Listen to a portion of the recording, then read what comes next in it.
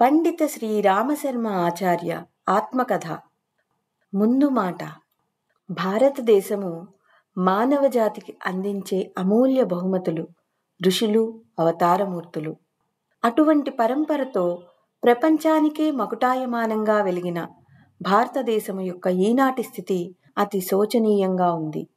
ఇరవై సంవత్సరాలకు పైగా కాశీలో ఉండి చాలామంది గురువుల వద్ద ఆధ్యాత్మికతను నేర్చుకోవడానికి ప్రయత్నించాను.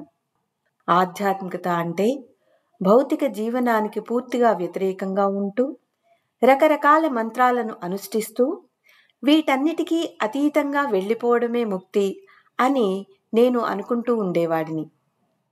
జీవిత సత్యాన్వేషణలో చాలామంది గురువులతో సంబంధమే కాక రామకృష్ణ పరమహంస వివేకానంద రచనలు యోగి అరవిందుల అతిమానస అవతరణ గురించిన వివరణ శ్రీ రామచంద్రజీ రాజయోగ మార్గము స్వామి చిన్మయానంద గీత ఉపనిషత్తుల వ్యాఖ్యానాలు పురాణ ఇతిహాసాలు మొదలైన వానిని నేటి విశ్లేషణాత్మక మనస్సు గల వ్యక్తులకు తెలియచేయటానికి అనువుగా వ్రాసిన madam Blavatsky Annie Besant Leadbeater Geoffrey Hodson వంటి థియోసాఫిస్టుల వివేచన.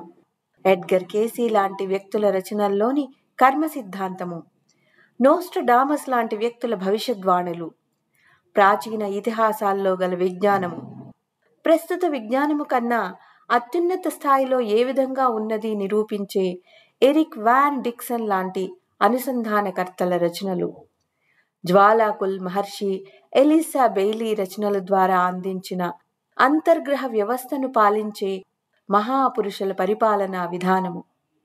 సనాతనత్వాన్ని సాంప్రదాయాలకు విరుద్ధంగా విప్లవం తీసుకువచ్చే ఆచార్య రజనీష్ రచనలు. చదివిన తర్వాత నేను వీరందరి రచనల్లోనూ ఆధారంగా ఉన్న సత్యాన్ని సూత్రప్రాయంగా గమనించినట్లు అనిపించినా నా అవగాహనలో స్పష్టత లేదు. సాధనా విధానము ఒక నిర్దేశిత లక్ష్యాన్ని ఏర్పరచుకోలేదు. జూన్ పద్దెనిమిది పంతొమ్మిది వందల డెబ్భై ఒకటిన మధురలో పూజ్య గురుదేవులు పండిత శ్రీరామశర్మ ఆచార్యుల దర్శనం తర్వాత మానవ జన్మ పరమావధి యుగ పురుషులను గుర్తించడము జన్మ పునర్జన్మల రహస్యము ఋషుల కార్యక్రమాల వివరణ నేడు నెలకొని ఉన్న ప్రపంచ పరిస్థితి దానికి గల కారణాలు రాబోయే సంవత్సరాలలో మానవజాతి ఎదుర్కోనున్న పరిణామాలు ముఖ్యంగా ఈ విషయంలో భారతదేశపు పాత్ర ఇవన్నీ స్పష్టంగా అవగతమైనాయి. పూజ్య గురుదేవుల ఆత్మకథను చదివినప్పుడు ఇది ఒక వ్యక్తి ఆత్మకథగా భావించవద్దు.